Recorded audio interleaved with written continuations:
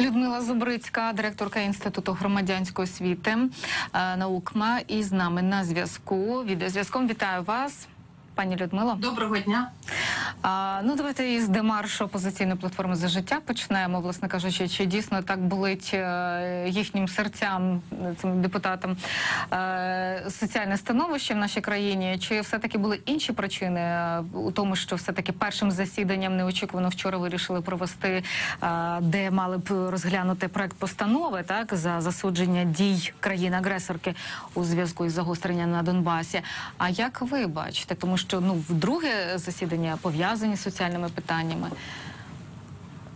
Ну насправді все зрозуміло з е, позицією ОПЗЖ. Зрозуміло, що в цій ситуації вони по-іншому не могли діяти. Е, мені цікаво тільки, чому ось так повним складом. Ну ми розуміємо, чому да? тому що зараз відбувається дуже така активна політика влади на накладення санкцій на очільника партії і на засудження самого такого проросійського е, проросійської орієнтації партії. Ми розуміємо, що останні навіть події е, щодо е, ось цих санкцій і позиції президента вони наклали певний такий слід і в відносинах, скажімо, в ініціюванні ось цього нормандського формату, да Мгм. про який говорив Зеленський. Але Путін ініціював зустріч без Зеленського. Він говорив, що е, насправді є дуже багато питань, які повинні ви- вирішити Меркель і Макрон, не привлікаючи сюди Україну. Тобто, ми можемо чітко зрозуміти з цієї заяви, з цієї позиції, що Зеленський завдяки такій політиці е, доволі радикальній. І закриття каналів, і введення персональних санкцій, і сьогодні там проведення судових засідань і певних е, дій судових стосовно е, діяльності українського вибору як попередниці ОПЗЖ. Мгм. Ми говоримо сьогодні про те, що е, Зеленсь- Зеленський став нерукопожатий, мовно кажучи, остаточно нерукопожатий в Росії, і вже коли на початку його каденції можливо. Е, У Путіна були якісь ілюзії стосовно можливості домовитися і стосовно посилення свого впливу, то Зеленський за свою каденцію продемонстрував таку стійкість і абсолютно радикальну позицію в цьому ставленні. І це е, умовно кажучи, не могло не відобразитися на стосунках на міжнародній арені. І крім того, зрозуміло, що е, як вираз інтересів Російської Федерації в Верховній Раді фракція ОПЗЖ, вона просто демаршем оголосила свою позицію, що вона ні в якому разі зрозуміло, що саме це питання. Саме підтримання цієї заяви щодо ескалації конфлікту було цим каменем, е, через який приткнулося ОПЗЖ, і саме із-за цього вони вийшли з зали Верховної Ради. А що заважало залишитися там е, і натиснути кнопку Утримався? Зокрема, тут поставимо три крапочки. Пані Людмила, залишатись на лінії. Просто зараз давайте послухаємо у кулуарах Мар'яну Безуглу, народну депутатку від фракції Слуги народу. Вітаю вас, пані Мар'яно. Вітаю. Пані Мар'яно, якраз із пані, е, пані Людмилою е, Безуглою, е, е, Зубрицькою, обговорюємо, власне кажучи, цей демарш опозиційної платформи за життя. Як ви його оцінюєте? Чому власне депутати не залишилися? Ну і понатискали би собі там утримався чи якісь інші проти. Ну як ви бачите? Що хотіли сказати, окрім того, що вони висловилися з трибуни, мовляв, соціальних питань бракує в позачергових засіданнях. От бачите, оце слово мовляв, воно тут дуже доречне, тому що а, насправді ми бачимо а, конкретні дії, конкретні дії, коли доповідає головнокомандувач, коли а, реальне загострення, а, коли ми вводимо а, в далі в використання а, більш верифіковану термінологію щодо того, що відбувається саме українсько-російський конфлікт. Повна фракція в повному складі покидає залу. Знаєте, е, я більше навіть не можу коментувати, тому що якщо я буду звинувачувати, ну це буде не зовсім коректно. Е, Я думаю, кожен е, громадянин може зробити для себе висновки сам, Е, коли вони. Робили заяву, то згадали, що зараз е, е, фракція ОПЗЖ страждає від обшуків Служби безпеки України. Ну знову ж беручи до уваги, яка тут була поведінка, е, ми розуміємо, що е, служба безпеки України давно мала працювати в цьому напрямку, е, і сподіваюся, що далі вони будуть працювати максимально ефективно. Мар'яна, аби спростувати от заяву ваших колег по партії Батьківщина, зокрема з приводу того, що ця постанова не що інше, як паркетна, така собі е, Чергова постанова. паркетна дипломатична заява. Так, то власне, які напрямки от безпосередньо після тих, як ви кажете, вже визначених дефініцій, будете робити безпосередньо ви як народні депутати? Чи це вже буде прямо сьогодні дзвінок представникам Сполучених Штатів, не враховуючи те, що вже поговорив Єрмак із представником е, президента по національній безпеці Сполучених Штатів Америки? Так чи це буде дзвінок поки що діючому канцлеру Меркель? Власне, які будуть кроки, і, які власне конкретно санкції вимагатиме Україна проти Росії? Ну і можливо, якийсь справді буде прямий тиск, який вже такий досить неординарний, цікавий і в той же час дієвий придумала Україна, аби от припинити цю ескалацію. Дивіться, я на жаль маю йти, тому що зараз у нас має е, бути голосування.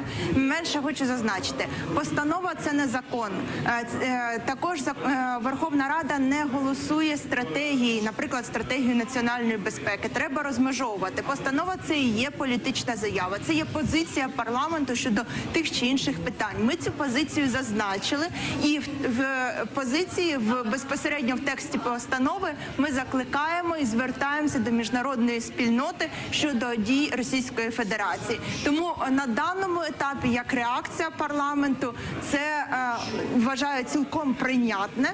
Е, щодо того, щодо конкретних дій, конкретні дії це реалізація стратегії національної безпеки України. Конкретні дії це робота в ТКГ і підготовка нормандського формату або пошук альтернатив, але в рамках тієї політики, з яку впроваджує Україна. Конкретні дії це законопроекти. Нагадаю, сьогодні е, зал підтримав 3553. Це законопроект, який трансформ- трансформує наші військові комісаріати нарешті в центри рекрутингу. А в подальшому це і питання е, такої диджиталізації військових комісаріатів, єдиного реєстру тощо. Вам, пані Мар'яна, що знайшли час для нас. Мар'яна Безугла, народна депутатка від фракції Слуги народу, доєдналася до нас е, із кулуарів парламенту. Ну і власне обговорили ситуацію, яка відбулася на позачергових засіданнях, які досі тривають в парламенті. Повертаємось до розмови із панією пані е, панією Людмилою Зубрицькою. Е, Пані Людмило, дивіться, е, продовжуючи власне моє запитання, е, як ви бачите, те, що чому просто парламентарі від ОПЗЖ не проголосували, там утримався і так далі. Навіщо ось цей демонстративний демарш був? Я думаю, що це швидше розраховано не на українську аудиторію, а на російську. Тобто, це сигнал того, що е, ОПЗЖ там притримується своєї позиції і ні в якому випадку там не хоче співпрацювати, умовно кажучи, з українською владою саме в цих питаннях, питаннях війни і миру. Е, Тобто, це така демонстрація того, що ми ніякі подібні заяви, подібні кроки е, української влади підтримувати не будемо. Ми ж розуміємо, що так, ну, якого ж типу сюжети можуть вийти на російському телебаченні, Мгм. да? що вся рада там проголосувала, а лише ось плод е, демократії ОПЗЖ е, вийшло саме з зали е, ради Мгм. для того, щоб не приймати участь у цьому дійстві. Е, Тому мені здається, що це чіткий сигнал зрозумілий, і він чіт- чітко позиціонує політичні сили відповідно до їхніх політичних преференцій. Пані Людмило, дивіться, а щодо самої е, цієї постанови, наскільки ви бачите це, як е, дійсно висловився е, представник батьківщини, чергова там паркетна дипломатична заява, а чи якийсь певний заклик? Хоча перечитавши текст, там є е, і звернення, так певні і вимоги, але тим не менше, що несе за собою саме е, ця постанова, як думаєте, до яких наслідків може призвести, чи просто це як про, про те, що парламент, як то кажуть, стурбований? Що працює Угу. насправді я побачила там. Я не вважаю відразу скажу цю заяву паркетною. Тобто її можна назвати якоюсь рамковою. Да, дійсно, да, можливо, вона потребувала там більш детального пропису прописування, які саме санкції ми вимагаємо, щоб наклали тощо. Але я побачила ще один такий паркетний е, штрих в цій заяві, який є, таким, знаєте, розшаркуванням перед президентом. Е, Це те, що е, Верховна Рада вітає зусилля президента з невідкладної активізації контактів у нормандському форматі. Тобто може не вітати, а підтримувати насправді це була б зовсім інша анотація і зовсім інший дискурс. Ну тобто, це умовно кажучи, Да, вітаю Е, зусилля президента. Да. Закликає Е, світове співтовариство да, до продовження тих же санкцій і посилення. Ну це стандартне формулювання. І звертається до міжнародних організацій, міжнародних юрисди... юрисдикцій, інституцій, закликом вжити всіх можливих заходів. Ну теж воно все таки дуже загальне. А, хоча і вимагає від Російської Федерації негайно припинити бойові дії та неухильно дотримуватися режиму припинення вогню і, і таке інше. А, я теж так звернулася на увагу на ці слова. Тим не менше, а, для чого це робити ну в парламенті? Чи не маємо би цим займатися? Просто генштаб, е, ну і інші абсолютно інституції. Ну насправді це один із шляхів дипломатичного звернення, ніби як коли колегіальний орган звертається, і це нормально. Дійсно має бути там нота протесту від е, МОЗу. Е, Міністерства зовнішніх відносин, але все ж таки і рада також має підтримати, да тому що це представники народу, народні обранці. І умовно кажучи, ця заява набуває легітимності з точки зору того, що більшість українського народу, тобто її представники, підтримують ось цю позицію. Найбільш важливим, на мою думку, в цій заяві є те, що війна називається війною. Тобто, у нас вже не просто якийсь збройний канда, якась е, Мгм. Операція, да, а ми чітко говоримо, артикулюємо, хоча б в політичний дискурс вводимо сам термін війна і звертаємося до міжнародних організацій з тим, що ми чітко визнаємо, що у нас йде війна, і ми називаємо цю другу сторону. А хіба це вперше, пані. Людмило? Ну це ж не вперше. От в політичному, як ви е, правильно зазначили, дискурсі, в заявах, зверненнях, так. Але з юридичної точки зору саме законодавства нашої країни, у нас все ж таки е, збройний конфлікт. Да, А, от і тут так. паркетність. Ось Мгм. в цьому закладена паркетність. Да? Тобто, якщо ви називаєте це війною, ну просто мені цікаво, мені е, чому війна для мене важлива в цій анотації. Да? Тому що не відповідно до нашого законодавства, да? А ми звертаємося вже до світової спільноти з цим терміном. Тобто ми наголошуємо. Але, але певна ця паркетність полягає в тому, що нам потрібно було сказати, що ми і в свої законодавчі акти внесемо зміни і назвемо цей феномен, який є, ось саме таким чином, тому що є от такі, такі, такі ознаки. А ви думаєте, дійде все ж таки до зміни певних деф- дефініцій і на юридичному рівні в нашій країні? Я думаю, що не дійде. Але насправді да е, найважливіше це те, що е, Рада підтримує, ніби це знаєте, другий сигнал. Зеленський ініціює нормандський формат. І Рада також звертається. Це другий сигнал щодо того, що потрібно відновити нормандський формат і якимось чином вирішувати ситуацію, тому що ситуація загострюється. Ми отримуємо ще більше жертв, тобто, умовно кажучи, немає ніякого дотримання попередніх домовленостей нормандського формату Мгм. попереднього, і тому потрібно знову сідати за стіл перемовин. Але ми розуміємо, що це вже буде зовсім інші умови, на яких ми сядемо за цей стіл перемовин, і наша позиція більш агресивна. І ми ми вимагаємо більших якихось більшого тиску від світової спільноти. Але знову ж таки, давайте чесно говорити, це все ж на наші хотілки.